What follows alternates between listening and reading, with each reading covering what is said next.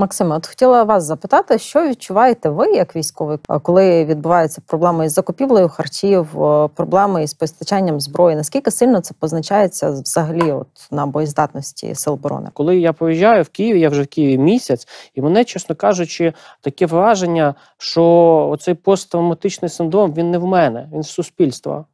І мені мені тут так, мені важко.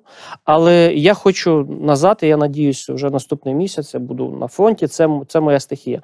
Але е, саме питання не як ми до цього маємо реагувати. Питання, як ви реагуєте, суспільство? 100%. Ви як ви маєте реагувати? Е, Питання в кого зараз посттравматичний синдром? В мене і в моїх бойців, чи все-таки в суспільства? Кому треба лікуватися? Не я викидаю бичок з машини, коли я взагалі, в принципі, не я не палю. А викидає цей бичок з автомобіля людина, яка не на фронті. Просто я можу емоційніше відреагувати, зробити зауваження, зацепитися з цією людиною, пояснити, що ти в столиці української держави знаходишся, і викидати бичок з машини це не а, не в мене е, травма, а в тебе.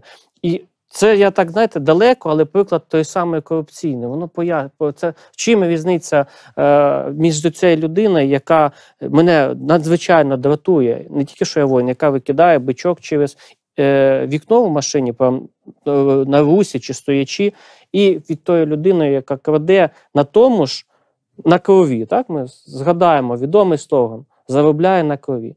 Як я реагую? Негативно, крайне негативно крайні негативно емоційно.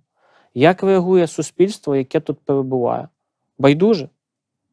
Тому я хочу сказати вам і всім, що неважливо, як будуть реагувати фронтовики, да, як нас називають. Важливо, як ви будете реагувати. Але, на жаль, ми спостерігаємо, що величезна кількість чи частина суспільства реагує байдуже.